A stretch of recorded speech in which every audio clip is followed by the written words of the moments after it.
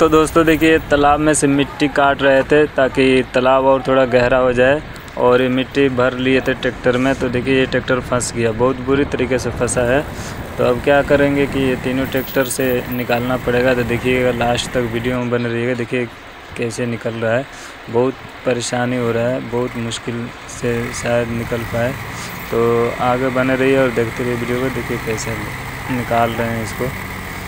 ओहो, हो, लगाओ ज़ोर भाई। तो देखिए भाई, कोई मतलब थोड़ा भी घसकने का नाम नहीं ले रहा है। इतना मतलब मिट्टी इसमें वज़न भरा है। तो अब क्या करना पड़ेगा आप देखिएगा।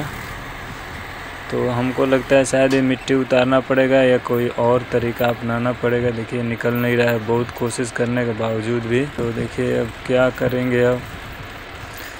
तो अब दूसरा तरीका अपनाना पड़ेगा तो वीडियो पे आगे बने रहिएगा। देखिए कैसे निकालेंगे। तो दोस्तों, दूसरे तरीके का जुगाड़ हो चुका है। पीछे के साइड में इसको बाँध दिया गया है। पीछे के साइड से खींचेंगे। देखते हैं, पीछे के साइड से निकल रहा है या ये भी नाकाम ही रहेगा। हमको लगता है कि ये सक्सेस हो जाएगा। आपको क्या लगता है? कमेंट बॉक्स में बताइएगा। क्या होगा? जल्दी बताइए। निकल पाएगा या नहीं निकल पाएगा? आपको क्या अंदाज़ा है कमेंट बॉक्स में बताइए। तो देखिए, अब इसको पीछे के साइड से खींचेंगे।